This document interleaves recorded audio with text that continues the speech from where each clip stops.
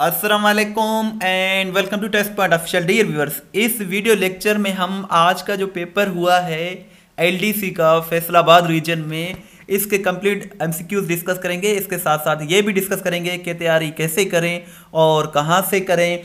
अगर आपको पीडीएफ चाहिए तो पीडीएफ भी अवेलेबल है। एंड तक वीडियो लाजमी देखें। यकीनन आपको बहुत कुछ सीखने को मिलेगा। और आज का जो फ़र्स्ट क्वेश्चन है हमारा, वो है words having similar meanings are called यानी कि ऐसे अल्फाज जो सिमिलर मीनिंग दें, एक जैसे मीनिंग दें, उन्हें होमोनियम्स कहा जाता है एंटोनियम्स कहा जाता है, या फिर बोथ ए एंड बी या फिर नन ऑफ़ दिस तो यहाँ जो करेक्ट आंसर है वो है सेनोनियम सेनोनियम्स कहा जाता है और सेनोनियम का मतलब होता है हम माना अल्फाज. जैसे कि अटैम्प एक वर्ड है तो ये ट्राई का सिनोनियम है. Attempt is the synonym of try so इस किस्म के अल्फाज को सिनोनियम कहा जाता है। और जो उलट मीनिंग दें, हम माना ना दें, उलट मीनिंग दें, उन्हें एंटोनियम्स कहा जाता है। और जो सिमिलर मीनिंग दें, उन्हें सेनोनियम्स कहा जाता है। नेक्स्ट क्वेश्चन है smoking is injurious to health in the above sentence the word smoking is a R N so यहाँ जो होगा। ये जो स्मोकिंग वर्ड है, ये यहाँ वर्ब एडजेक्टिव या इन्फिनेटिव नहीं है, बल्कि ये यहाँ जेरंड है। क्योंकि फ़र्स्ट फॉर्म के साथ जब आईएनजी आ जाए और ये सेंटेंस में के स्टार्टिंग में आ जाए तो इस सूरत में मोस्टली ये जेरंड कहलाता है। जैसे कि hunting is my hobby so यहाँ हंटिंग जो है, ये एक जेरंड है। इसी तरह smoking is injurious to health यानी कि ये जो तम्बाकू नोशी है, ये सेहत के लिए, मज़र सेहत है, सेहत के लिए ख़तरा है। सो यहाँ जो स्मोकिंग है, ये भी जेरंड है। आगे बढ़ने से पहले छोटी सी रिक्वेस्ट है कि हमारे चैनल को ज़रूर सब्सक्राइब करें बिकॉज़ इस तरह की हर हर किस्म के जो पेपर हो रहे हैं, वो हम सबसे पहले यहाँ अपलोड कर रहे हैं इसी चैनल पर, और इस सीरीज़ के भी दो वीडियो लेक्चर्स ऑलरेडी अपलोड हो चुके हैं इसी चैनल पर, जिनको आप देख सकते हैं। नेक्स्ट क्वेश्चन है one million two hundred thousand two hundred thousand and nine is two hundred thousand and nine is written in so यहाँ चार ऑप्शंस दिए गए हैं। ये इनमें क्या करेक्ट आंसर है? ये आपने मुझे कमेंट सेक्शन में बताना है कि what is the correct answer here इसका आपने मुझे कमेंट सेक्शन में बताना है। नेक्स्ट क्वेश्चन है dash is the lightest substance on the earth so यहाँ चार ऑप्शन दिए गए हैं नाइट्रोजन ऑक्सीजन हाइड्रोजन या फिर नन ऑफ़ दिस सो यहाँ जो करेक्ट आंसर है, वो है नन वो जो है हाइड्रोजन है. Hydrogen is the lightest substance on the earth so hydrogen इसका करेक्ट आंसर है.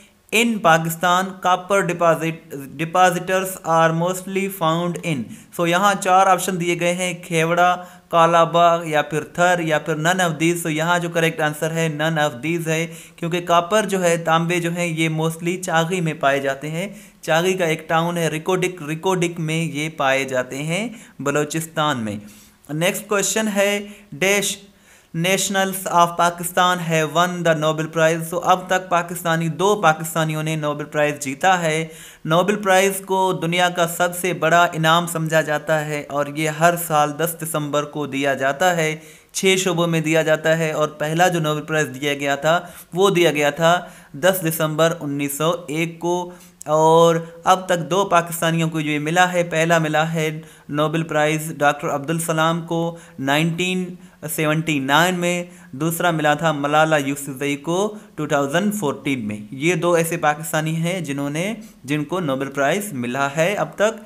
नेक्स्ट क्वेश्चन है the supreme commander of Pakistan the supreme commander of armed forces of Pakistan is so supreme commander overall जो होता है Pakistan armed forces यानी कि army navy और air force को मिलाकर, इनका जो supreme commander prime minister chief of army staff या, और कोई नहीं होता, बल्कि प्रेसिडेंट ही होता है overall so president is the correct answer here पूरी वीडियो देखने के बाद नीचे दिए गए लिंक पर क्लिक करके अपना टेस्ट लें ताकि आपको मालूम हो जाए कि कितने सवाल आपको याद हो गए हैं। Dash regarded as the first Punjabi poet अगर हम पंजाबी पोइट की बात करें सो बाबा फरीद ख्वाजा फरीद या फिर बुल्ले शाह सो यहाँ जो करेक्ट आंसर है वो है बाबा फरीद बाबा फरीद को बाबा फरीद जो हैं, ये पहले पंजाब की, पंजाबी के, पंजाबी लैंग्वेज के फ़र्स्ट पोइट थे, पहले शायर थे।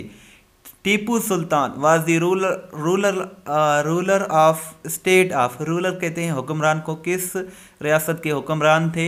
सो डेसन बंगाल या उद सो so, यहाँ जो करेक्ट आंसर है वो है none of this none of this इसका करेक्ट आंसर है क्योंकि मेज़ोर के ये सुल्तान थे मेज़ोर। और ये भी पूछा जाता है कि टीपू सुल्तान का रियल नेम क्या था असल नाम क्या था?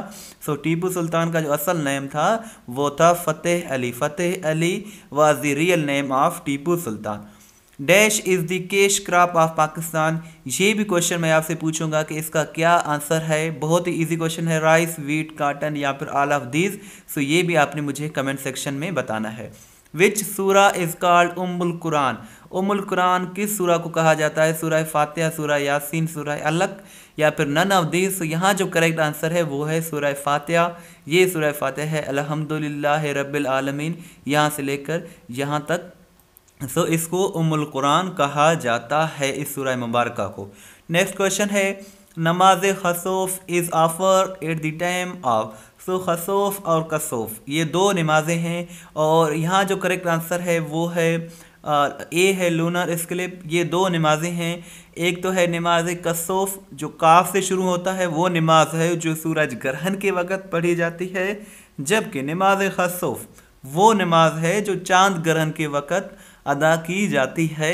सो कसोफ और खसोफ में ये ये थोड़ा कन्फ्यूज़न क्वेश्चन है।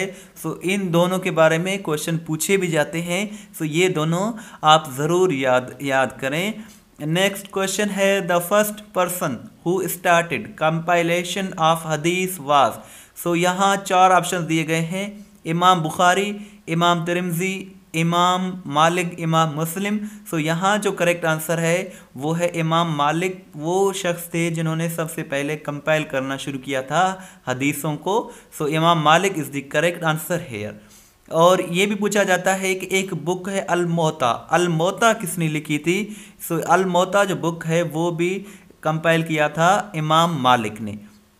नेक्स्ट क्वेश्चन है how many surahs are there in the last chapter of the holy Quran so यहाँ जो करेक्ट आंसर है forty thirty seven thirty eight so यहाँ जो करेक्ट आंसर है, वो है थर्टी सेवन सूरह कुरान मजीद में जितनी भी सूरह है, उन जितनी भी चैप्टर्स हैं, जितने भी चैप्टर्स हैं, उनमें जो आखिरी सूरा है, उसमें थर्टी सेवन जो हैं सूराज हैं। आखिरी चैप्टर में सैंतीस जो हैं, वो सूराज हैं। नेक्स्ट क्वेश्चन है the account of Zulqarnain has been mentioned in the holy Quran in which surah so यहाँ तीन ऑप्शन दिए गए हैं अल नूर अल अम्बिया अल कहफ सो यहाँ भी करेक्ट आंसर है, वो है अल कहफ अल कहफ इसका करेक्ट आंसर है जुलकरनैन का ज़िक्र जो आया है, वो सुरह कहफ में आया है. First convert to Islam was a, यानी कि सबसे पहले इस्लाम किसने कबूल किया था? तो वो कौन थी? वो एक ख़ातून थी, वो एक स्लेव यानी ग़ुलाम थी, या फिर वो बच्चे थे? एक बच्चा था तो यहाँ जो करेक्ट आंसर है, वो है लेडी हज़रत बेबी खदीजा ने सबसे पहले इस्लाम कबूल किया था।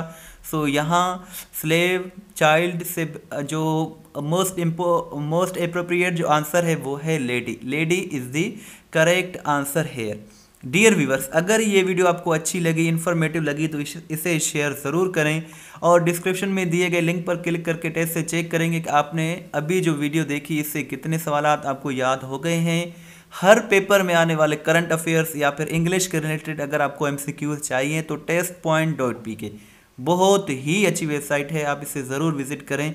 ये वो वेबसाइट है जहाँ past paper with detail discuss किए जाते हैं। इसके साथ साथ अगर आपको पीडीएफ चाहिए तो पीडीएफ भी डिस्क्रिप्शन में अवेलेबल है, जिसे आप बगैर किसी पासवर्ड के हासिल कर सकते हैं। Your feedback suggestion and comments are always welcome thanks for watching and अल्लाह हाफिज़